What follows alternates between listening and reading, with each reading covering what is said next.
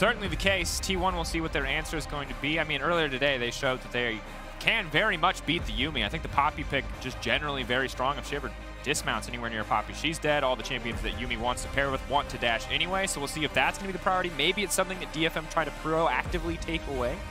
I mean, my assumption is they'll probably just go Leona on three. I think that Leona has been another really highly prized support. Uh, does give them the ability to engage. Going double AD carry in their 1-2, you're expecting this to be Graves top for Canna. Uh, of course, you do have the other option of just going a more defensive route and going an Enchanter to match the laning power of Yuumi. Exactly, and, and, it'll at least give them pressure through bot lane. I'm expecting that to be a Lulu on three, because uh, they definitely don't want that to be taken away. The Thresh is available. Keria is a great Thresh player, so that is an option if they just want to play directly to bot lane.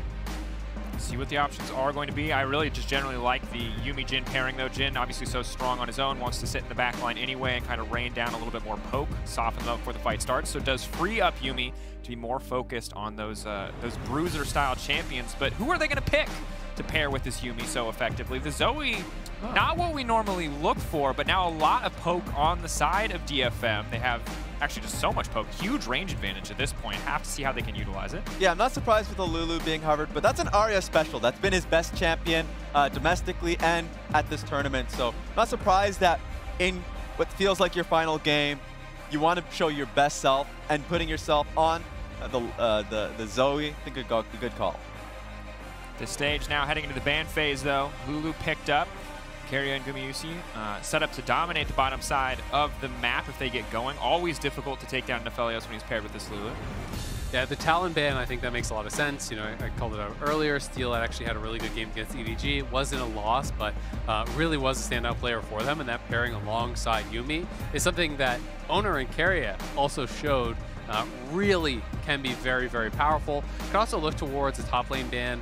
Evi has been getting Urgot banned against him all the time. They already have their top laner, and we're expecting DFM just ban away mid laners here to try to protect Faker.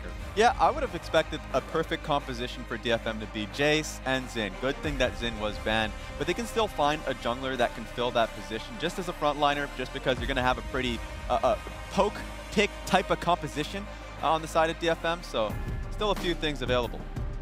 Taking their time on this final ban from the side of DFM, have to be careful about what they pick here really pondering the options. The J4 are going to be the one that comes out. Makes a lot of sense. A lot of immobile carries so far from what we've seen on the side of DFM.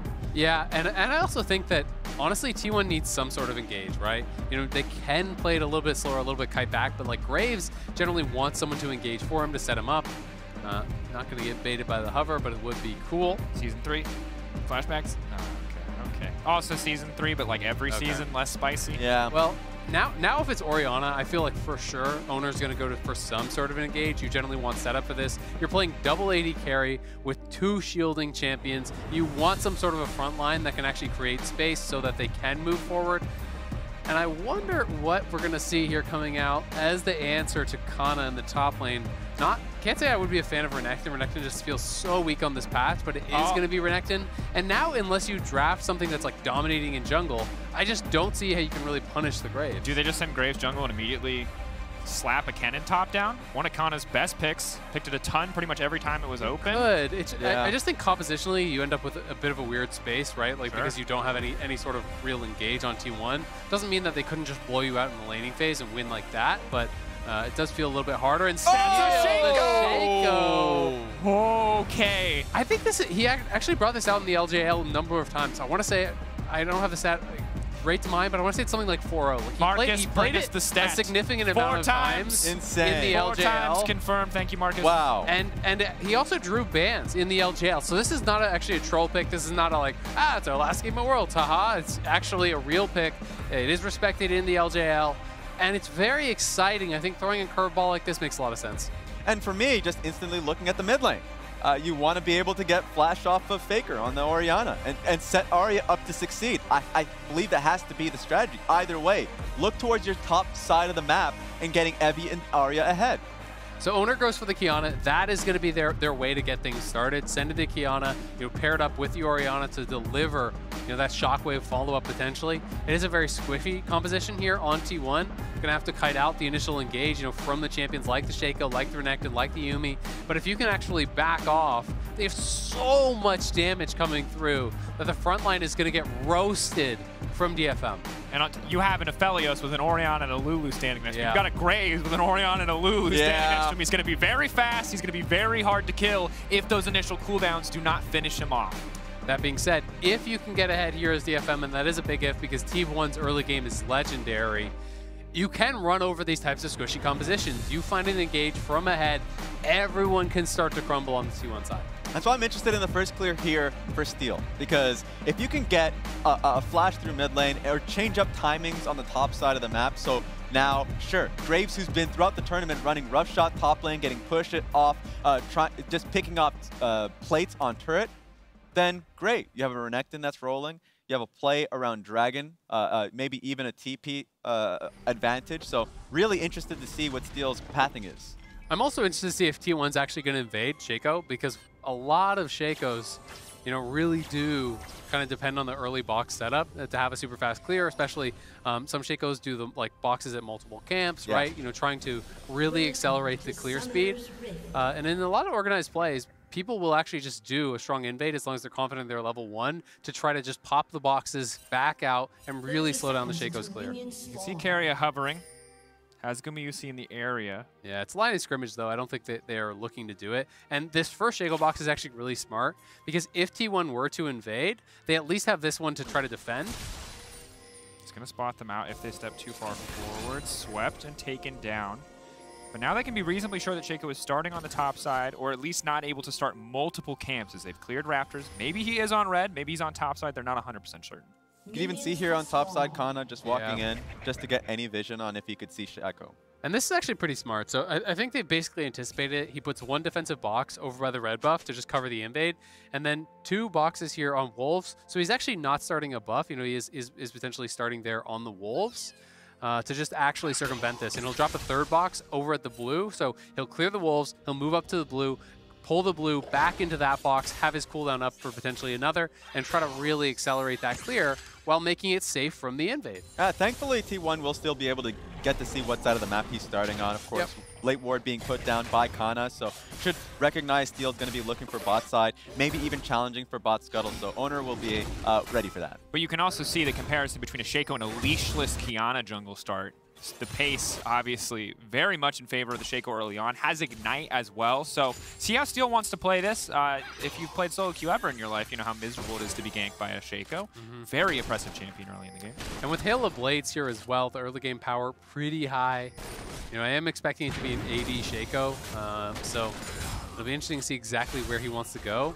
If he's going to go straight towards Mythic, if he's going to go Ghostblade, which we've seen a lot of lethality champions rushing towards, or even something you know more like an Umbral Glaive to control vision. He's pinging this top side, and so good thing Canna is able to get that ward off so he can just back away from the wave and play as safely as possible. makes it so now Oner knows that he can play for this mid lane uh, for Scuttle, but Faker, Shaco going in. Is immediately going to get the flash out. Two ship Oh, poison on wow. top of that big early damage. I love that. He didn't even use the Ignite. It's so common to see people just autopilot on that, press the Ignite on their first gank, but he forces the flash without using it, and now could run into Oner here, and he would have Ignite advantage, but Oner does have red buff and Steal does not. Be difficult. Is he going to go for the play? If he baits him into the box, it should be Yeah. decent setup. Backstab going to be important here, but good ward from Oner just to make sure he has been Yeah. the entire time. and just take a look at the bot lane. He, you're going to have Gumayusi and Keria moving up because they've had Cryo now. So even with the work Steal's been putting down, going to be pushed off of Scuttle Crab. And I got to say, while Faker did have to burn flash there, and it's been a solid early game. Hold the Hold that thought, Aria. Going forward. Big damage. Finished Oh! it. First blood. Faker! This man does not stop. Last game was the Twisted Fate show. Even though it was a loss, he comes out and he first bloods Faker 1v1. Back-to-back games. Aria showing up, and they're TP TP top. Zoe now coming in as well. Heavy now dashing through, stacking up the rage, has Conqueror proc. Not going to be able to see him in the smoke screen, but now they're stepping forward. Canna's going to be in trouble dashing into the bush, but Aria can just walk forward. He doesn't have enough health. Aria taking his time on this one. This man is out of his mind. Two kills already. Crown this man! Insane start from Aria, and really smart from Evi to just play around the minion wave so Graves couldn't even get a return kill there. And I honestly did not think I would need to use this graphic today, but here we go. Let me remind you, that we are expecting 5-1-5-1 tiebreaker end of the day. We want to complete the EDG T1 best of three. That's what the people are waiting for. But DFM, they're looking to get one win on the board. If they get that one win over T1, EDG beating 100 Thieves, and unless 100 Thieves also beat EDG, that's EDG out in first, SKT out in second, T1 rather. Yeah, I mean, that, that'd be a huge win. I, I will say Steal's clear has been incredibly slowed down. You know, they were playing so heavily around that bot scuttle, and he still had all three bot side camps available. He now did get his red, but he lost his Krugs. Looks like he's going to lose his Raptors here as well. And we can watch this one more time, just walking straight up, using the cleanse for the move speed, auto into the sleep, backs out of turret range, and then the paddle star around the minions, plus the empowered auto, the stolen flash to bounce right back out. That is clean from Aria. Absolutely. Oner now stepping forward, though, on the bottom side. They're going to have to respect it on the side of DFM. Already one play getting taken down. Remember, Shaco was the crazy variable. Aria certainly coming out as well, something T1 might not have been ready for. But otherwise, across the map, it really is a full court press. Mid lane really the only strong point right now for DFM. Faker potentially in trouble here. Two-ship poison. Don't follow up auto attack. Yeah, just thought of Fog there. And just as a reminder, Shaco is not seen if he queues in Fog anymore. So still a positive thing for Shaco players there where no flash on Faker, just losing uh, uh, uh, HP off of these ganks. And you can see Evi's trying to hold the wave, but this always gets a little bit dicey when you're already kind of low on health. You know, he's trying to make it feel risky for Canna. Canna's so healthy, uh, and he does have a ward in the river, and until you actually have levels on, on Shaco, like you can't just queue over the wall and get all the way into the lane. So he's he's feeling pretty safe, and I, I, do think that Evi overplayed his hand. When you really try to freeze into a heavy wave like that, you take so much harass. And unless the jungler is there immediately to punish, it doesn't get you anything. And in this case, T1 is actually looking to dive instead. Unless Evi hits six, he's in danger. Oh, the whip. Canna just hit level six. Ulti going wide is big. Oner can now step forward. Waterblade, if he double dashes to the wave, will he hit six? Wants to clear it, is immediately going to hit six, is immediately now going to ult. He's holding on and he's moving back. That's Oner's flash gone. Steal now on the way in. Ignite coming in from the invisible Shaco. Will now be revealed. Canna holding the line, though, playing with confidence. That was actually really well played. Evi dashing into the wave, killing just enough minions to get six. They get two flashes off that for just the ulti and the ignite. And Steal also just backing them up there was on Gromp and in position in case that were happening, so they didn't feel concerned about it. But yeah, it led, it started with Evi taking a bad trade, but in the end, able to defend him. Evi now going to push this wave in. Canna backing off. Looks like they are going to fish for the collapse here. Steal, of course, has already backed Evi. Right when we praise him, it might be a little bit too late, but there's no CC here, and that means he should be able to make it out. They'll take the burst damage, Oh! barely! Ooh. Oh, yikes. That actually hurts. I thought he was at least TPing to base, so he would have been back to base quicker, but does get out. Uh, unfortunately means his, his recall is going to be pretty delayed as Yeah. he was just TPing to that tier 2. Uh, but either way, does escape. And maybe still needed to stay around a little bit longer, but I think they made the read. Canna's really low. They both just flashed. They expected T1 to have reset. They stay out on the map for a longer time there. They do get out the TP. And so now I'm seeing T1 stabilizing, and a lot of it's based off of Gumayusi and Keria. Uh, earlier on, they were able to threaten dive, push Gaeng and Yutapon off the wave, and so they're behind. And they've been at under turret for quite some time, so maybe Steal can upset that. He is positioning for a gang. Invisible has a Yuumi attached to him. That's an obnoxious combo. Gumayusi, though, does the sidestep. Exhaust immediately coming out, and he's firing back. Polymorph on the Shaco. Very squishy champion. Ulti now coming in. He is not scared of that Shaco. Instant turnaround from Gumayusi. Perfect guns. Perfectly played. If Yutapon was able to get that snare on Gumayusi, that would have changed a little bit more. But man, what a great response from them and Keria to get the kill back. Yeah, it's all about the sidestep from Gumayusi there. Just beautifully played by him, dodging the Jhin W. And as soon as that comes down, Steal knows that he can't actually close the gap, so he's immediately retreating. But he is not six. His farm has been very slow here. You can see a number of camps actually behind Oner, who already is six. Uh, so you don't have a lot of defensive tools there. When you use the Q in, no way to really get out. Yeah, and it's getting worse and worse here. Just taking a look at this now uh, on the setup. I like the idea because T1 would be in position for a dragon, as you can see, uh, with Oner in the river. But yeah, they turn it on their head, able to get enough damage. Ignite also uh, pinging so they can get the kill on towards Shaco. Now looking towards Rift Herald. And the thing is, if you make a single misstep in that gank, you are guaranteed to die. He had no ammo on two guns, which means he gets to cast four abilities in the space of half a second, and he might get to do it again. Steal now running. Evi now going forward, just wants to focus his kill on Canna, and he's going to grab at least one.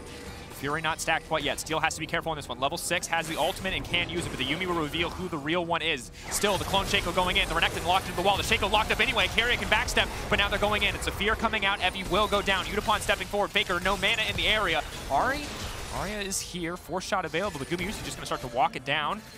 DFM, scrappy fight on the top side. Yeah, DFM did not expect everyone from TM to be there, or T1 to be there, rather. As the bot lane was already there, when Steal jumps over the wall and Gumayusi and Keria are waiting for him, they were not ready for that, but Mebby does get the solo kill on Nakana, so not bad whatsoever. Yeah, setup happened during the replay. And it looks like now Steal's looking for another play on Yu Gumayusi. But in the end, T1, their aim was Rift Herald. They can still go towards it. They're keeping their bot side up in the top lane. And so it's going to be pretty difficult for Detonation Focus Me to kind of try to stop them. Here they are. Oh, very high stakes to go into the Aphelios. He's got all the guns that he needs. He's going in. He's healing up. What are you doing? This is when the champion is the strongest. You just walked right into melee range. Your red gun, white gun, and a Lulu right next to you. Uh, Steal learned that one the hard way. Red, white, don't fight. oh, um, yeah, that was a math test, and DFM did not pass. Um, they didn't have the calculator. Nope. It's hard without the old Red TI plus white equals gray. That's the math on that one. is. You hate to see it You happen. do hate to see it. T1 now pushing in the mid lane. Their lead steadily growing. Yes, some strong individual moments from the side of DFM. Aria now fishing in for big Oh! damage. And while that looks good, the 2K gold deficit certainly does not. That's true. But if you squint, you could only see what was happening in the middle of the screen. Be like, ah, DFM's doing great. If we highlighted it like one of those Chinese TikToks where you can't see the scoreboard whatsoever, just Yes. this little right there, it would have been perfect. Ooh, Faker. So Shaco definitely not working out so far. I mean, I mean it's it's tough, honestly. You know, you're playing essentially an like what works as an assassin here, kind of. Uh, and every time he's going in against Keria, he has to use the Q to actually get in. But then when that's on cooldown, he just gets polymorphed immediately, and he's getting exploded during the polymorph pretty much every single time. Uh, really starting to actually struggle, both to keep up in farm and to actually really get anything done in these plays. That's why I want them to use Aria a little bit more. Um, a lot of the times they think they're strong enough to be able to just come in as a trio, uh, knowing that Oner is back in base, or earlier on in the game knowing that Oner was in the opposite side of the map. But just use a strong point of the map. He's been doing really well here, and now they're trying to make that happen. Okay, damage, but while we all know what it feels like to play against a Fed Shaco, you might now recognize what a behind Shaco does, and it is very little. Yeah, I mean, Steal is so unthreatening. Like, you have to kill Gumayusi to do anything. Gumayusi's playing with Exhaust. He has Keria behind him on the Lulu. He has a full shield bow completed, and it's a phage pickaxe. You know, there's just, there's no threat whatsoever from Steal. So at this point, T1 should feel confident to just show up to objectives, start taking them, and make DFM come to you. It really is just going to be the Gumayusi show. Of course, all of T1, though, looking relatively strong. You can see Faker still mid lane pressure, still getting plates, but he's going to go Tabby, he's going to go Collector, and he's going to one-shot you. He's not going to need to auto-attack, he will just push abilities. Yeah, and once again, Yutapon and Gaeng have to leave this turret. This free turret plates there, going over to Gumayusi and Keria. And yeah, Rift Herald being placed. This is something that T1 can just do on repeat. Regardless of where Gumayusi and Keria are sitting, they can just consistently play around this strongest piece, and it's working out well for them. See the struggle for Steal. It's just going to take a lot of time to clear that out. Aria flashing through, trying to outplay Faker. Faker flashing over the wall, however. Portal jump, where's it going to go? Second Herald charge on the bottom side. Aria desperate to finish the kill, but will not find another 1v1. Has a stolen flash. Faker forced to retreat, so Aria should be able to trade a little bit of something back. Man, I've got to say, yes, it's very clearly looking like it's going one way at this point, but Aria has played like such a monster today. He is truly showing that he is world class. He absolutely gapped Abbedagge last game. He's gotten the kill and he's gotten the pressure on Faker this game. Yes, he got some help from Shaco, uh, but he is playing so well today. Definitely is. Oner's going to do what he can to catch the experience and the wave, and T1 just steadily pulling ahead. Again, small moments, good moments from DFM, but sadly the Shaco really shut down in the early game makes it feel like it's going to be so hard for them to, to get anything done to stop T1's steadily snowballing gold. Yeah, they have to do something about Canna here. I say that as Gumayusi and Keria are back in the top lane to back him up and get this top turret. Uh, but he's just been a beast throughout the tournament, having the highest CS uh, differential, and overall has been getting a lot of draft resources. The Graves has been a real power piece for him. He's also getting a lot of Oner resources Yep. up there in that top lane. I think the difficult part too now is they just keep sending him to different lanes. He keeps farming. He's pulling ahead of the Renekton despite having two deaths already. And now Gumayusi, they're just using him as a strong point, rotating around the map, breaking down all these towers. Is he going to get the plate before 14 minutes? No. No, he is not. Yep, well, they did take that tower down. The lead really growing here now for T1. The Chemtech Putrefier is done for Keria. 2,000 gold lead there on the AD. 1,500 on supports.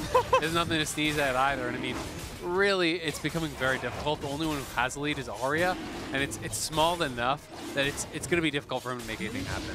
Yeah, and if you take a look at the, the top side jungle here, just great amount of vision control there for T1, and there's a, a ton of gold being uh, put on this second tier turret. So right now, DFM have to try for a play, and it looks like it's going to be on Canna. Canna now backing off. That's the Shaco clone, but instantly going to see that deleted. And now suddenly, there's a Qiyana running. He's going to get caught out by the sleep. Aria not going to turn back and try to fire again. Steal waiting in the darkness, but he's just forced to recall. T1 really not scared of DFM whatsoever. But that's the benefit here from having so much vision in the top side is that they didn't see them cutting through the, the top lane straight to the jungle. And now they're going to have first touch of this turret. So great job from T1 overall making use of Gumayusi. I mean, they just know they're so insanely far ahead. You just send Gumayusi up, start hitting the tower. Orianna and Lulu stand behind you what are they going to do? Their wave clear isn't strong enough. They can't actually walk up to them and fight them either. So there's bleeding towers left and right here. They got both up in that top lane. They move mid. They take that. Uh, and T1 really starting to run away with this one. And I just don't even know who the Shaco Yuumi combo can kill. You look at this combo without the, the, the, item screen, and you go, that must be lethal. That's two ignites, that's an exhaust on top of a chilling smite, a Shaco with Halo Blaze. But then you take into account where they are relative to the opposing team, it's just so underwhelming. I mean, I, th I, think that there's a few people that they could kill if they can catch them out, you know, away from a tower and in 2v1. But the problem is T1 is grouping up constantly. They're not overextending in these lanes. Yeah. You know, if you catch Faker or, or even Canna, you know, overextending in the lane, you could probably run them down. But T1 is never giving you the opportunity. They're always within the same quadrant as each other, so you just have to live a couple seconds and you're going to have backup, and that has been the case every single time. And since the early mistakes there from Faker just being picked out, I mean, he's been playing really safe and playing around phase rush and flash. So he doesn't have flash right now. He's not putting himself in a bad position. The TP coming through. Forward, Secret Trouble Bubble not going to connect. Rather, Paddle Star will not connect now, trying to burn down Canna. Immortal Shield Bow proc. They will find the kill. It takes them a lot of resources, but T1, not a lot for them to take on the top side. Well, Herald just spawned, so never mind. I take that back. Yeah, jungle camps being taken down. I mean, at this point, they're just going to try and at least chip at this mid lane inner while Rift Herald is being placed here. And with how much vision that they have on the map right now, they could actually just say, we're not going to base, we're just going to use Rift Herald now, and then bounce between both mid and top lane and just choose with uh, one has the biggest wave.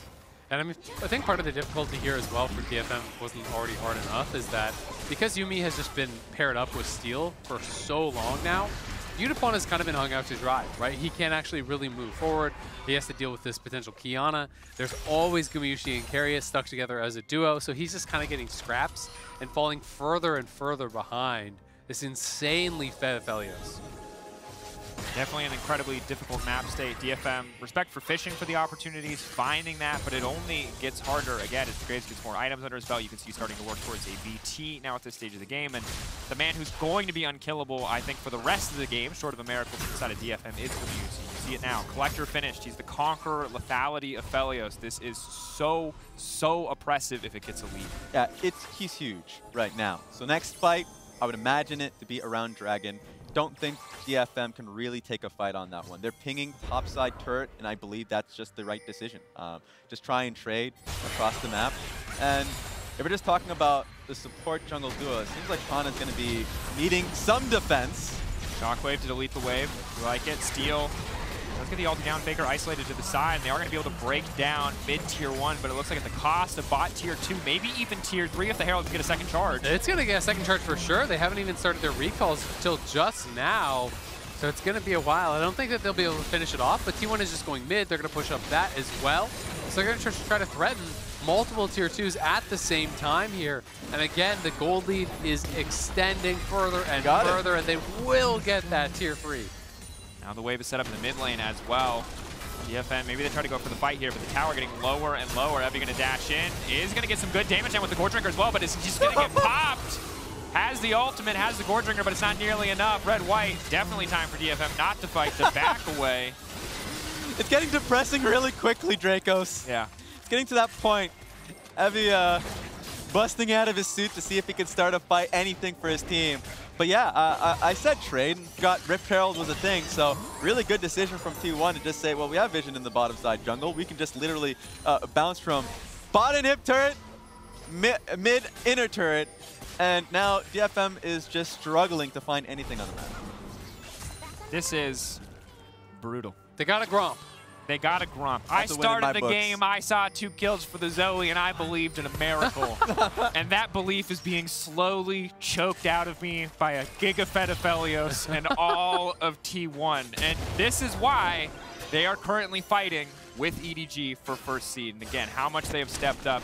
We saw the first game versus EDG, they got absolutely blasted. It was not even remotely close. EDG playing to a T second time around, clean things up, playing a lot better, and we are now poised, if 100 Thieves can't make the upset, for the game three, the rematch, the tiebreaker. And this was kind of always the story of T1 in the past, at previous Worlds. They ramp up throughout the tournament, get better and better. They've always been so adept at learning from their mistakes, at adjusting to the meta, at finding their niche within those powerful picks. And when they do, they're so tough to beat, especially because their early game is just so ridiculous this year. They've such an incredibly skilled roster of players, and now starting up this Baron. Steal gonna have to live up hunting. to his name. 5k getting lower. Shaco Smite, level 10. Can he get it 4k? They don't have vision on it, 3k. T1 want to flip it, they're ready. Are they just going to hold it at 3.5? They're not autoing the Baron. Yes, now they are again. 2.8 taking their time. Evi off to the side, just trying to bait the fight. It looks like they're going to find one with the ulti. Evi now getting pulled up, using his ultimate as well. Gumayusi backing up the Baron, but the Baron, they're still leashing it. They're still holding on to that point. Order almost one-shot. Curtain call now coming out. T1 really trying to force DFM to come into them, trying to bait a mistake, but DFM playing it slow, not really giving much up. That was the best thing they're done by DFM, and now they're pivoting for a fight. Aria's coming from a flank. It's going to be easy to land the bubble. Bubble coming through. Now Faker going to be locked up, forced to flash away. Now Aria stepping forward. Looks like a creep going to tank that one. Pretty massive. Faker still rooted. Steal off to the side, but the Shaco not too menacing. DFM forcing T1 back, but it doesn't look like they're going to be able to get much else. Not able to do anything really besides get them off the Baron because, again, T1 kites it out. They stay together as this squad. Aria poking away as much as he can, but there's no real threat of a counter Baron on DFM side either. Yeah, and I just liked what DFM did as a response because Oner was the one that was sitting in a flank spot looking for a fight. He didn't want to be in the pit. He wanted to force DFM's hand to put themselves in a position where they had to fight. But Steal was right behind the pit. No one trying to push him off. Looking for another kill on a Faker. That was a close one. Yeah. The bubble going through the wall and off the map. that had connected, you have to feel like Faker would have dropped. The paddles are also very, very close there. You got to respect taking those swings here. Aria knows it's a long shot to come back in this game, but you've got to find picks if you want to have any hope whatsoever. But T1 just focusing so much on vision control. Look at all the sweepers they've got. They've got the Umbral here as well on Oner, you know, going more for the vision control, vision denial just trying to shut DFM out of this game. And that's been the strength of T1 in this group. They have the highest support jungle proximity. A lot of the time, Vision is nailed down by Oner and Keria. They've done a great job at it, and it's surprising for such a young roster, of course, specifically uh, looking at Oner being that rookie this year with Gumayusi. So really good look for the team. You said that they were skilled, and it looks like they have the fundamentals down pat. Very crucial. And it feels like we're kind of just on this collision course for the tiebreaker. At the end of the day, of course, there is the chance that DFM can make something happen or that 100 Thieves could potentially pull off a miracle.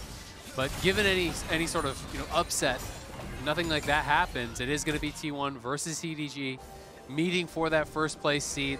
And EDG, despite being the LPL number one four times now, have never come out of groups number one. They always come out in second place. They always seem to fall short at Worlds, and T1 is looking to try to make that happen here once more. INTZ tiebreaker.